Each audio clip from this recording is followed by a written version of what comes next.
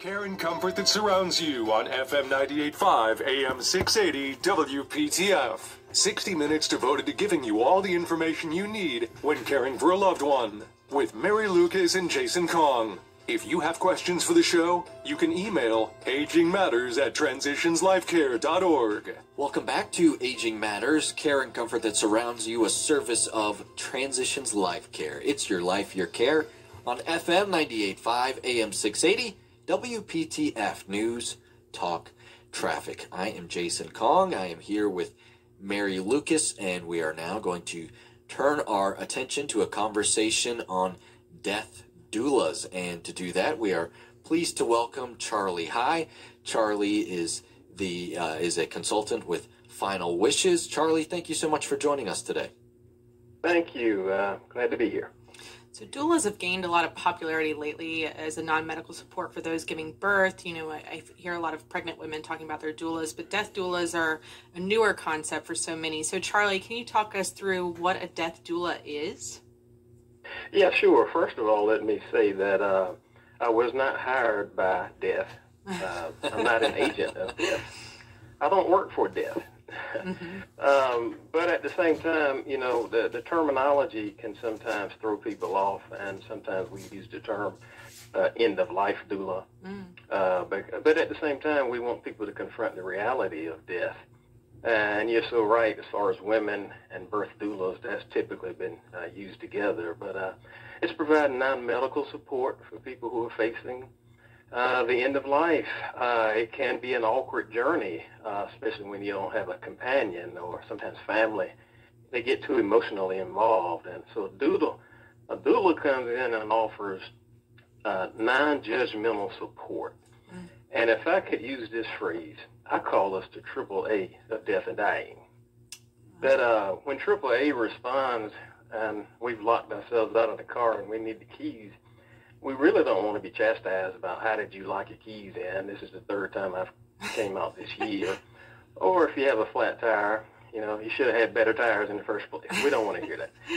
So in the same same mode, uh, a death doula, when we go to support families and those that are dying, we don't do it with a judgmental attitude. We don't try to uh, chastise them about why didn't you have your advanced care directives done. We just go in and fill the holes of that continuum of care in a non-medical way. So whatever hole uh, needs to be filled, a death doula steps in and assists. Now, now with that being said, um, there are a lot of specializations with doulas. So some specialize in elder care where they're going to be uh, mainly dealing with assisted living facilities. Mm-hmm. You have some that, of course, death doula, you're going to think end of life, but some actually uh, emphasize that end of life portion where they're going to be doing respite care. They're going to be mm-hmm. sitting by the bedside of someone who's about to transition.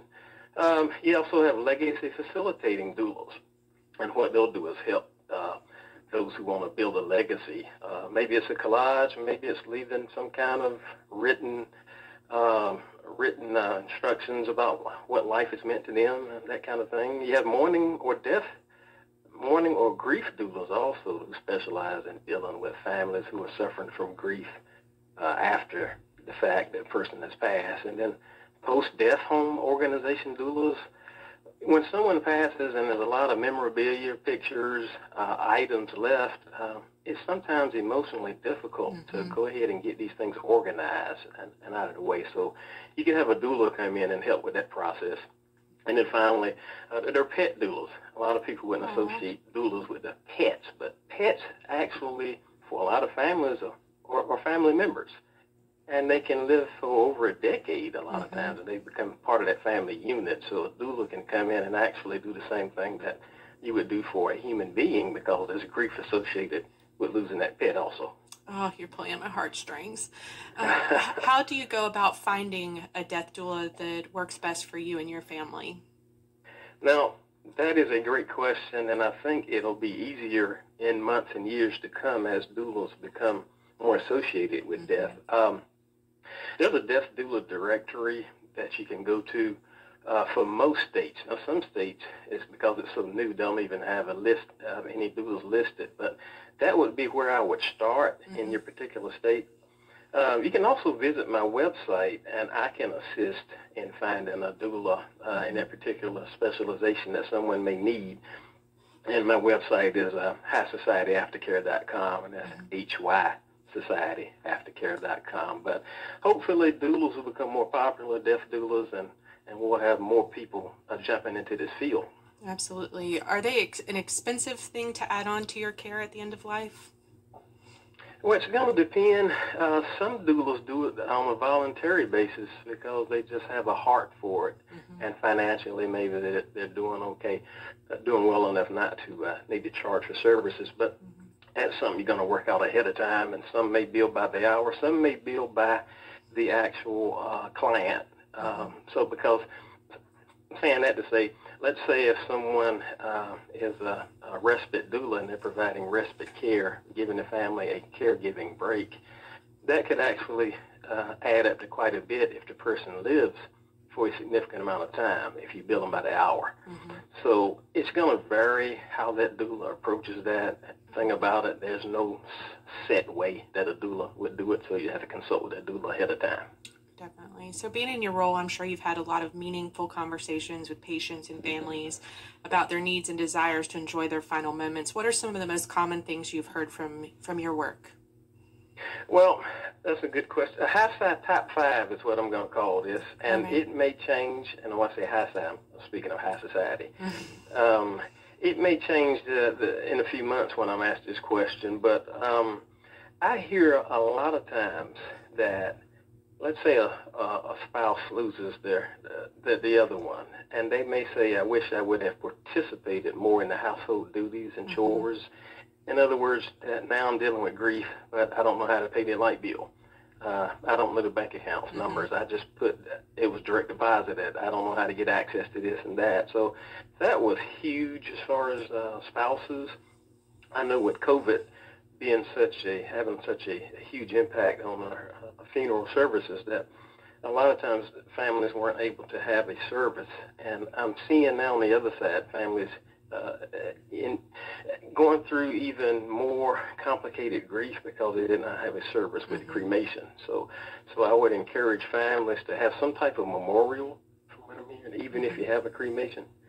Um, another thing that I've heard a lot of, this is what I hear ahead of time, when I, I offer my services as a doula, which include also helping people with living wills, uh, wills, uh, estate planning issues, or referring them to an attorney.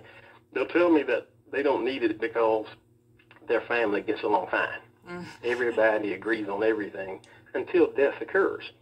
And then unpredictable things occur when you have a family member who's been estranged come, comes in and tries to take over uh, that they didn't anticipate. So again, I would encourage people to go ahead and address these things ahead of time. Um, another huge uh, area is that grief is not something that you complete. And as a doula, we do get into the aftercare of grief uh, when a family has lost a, a uh, close family member. And, you know, the five stages that we commonly hear, denial, anger, bargaining, depression, and acceptance, uh, they think of that as something that you complete. Mm-hmm. And they'll ask me sometimes is, hey, I'm on what stage am I and when will I reach the fifth stage acceptance because this grief is, is killing me and it's year three. And so one of the things I like to clear up is it's not something you complete. It's something you learn to live with grief and you may go through these stages repeatedly and out of order and continuously. So there's no set way to deal with grief. Is I like to explain that to people because they don't know it until it hits their, their, their family. And if I could sum up the last one for me, as far as what I've experienced, as far as uh, me getting the word out, is a lot of families. Uh, uh, well, let's say the obituary.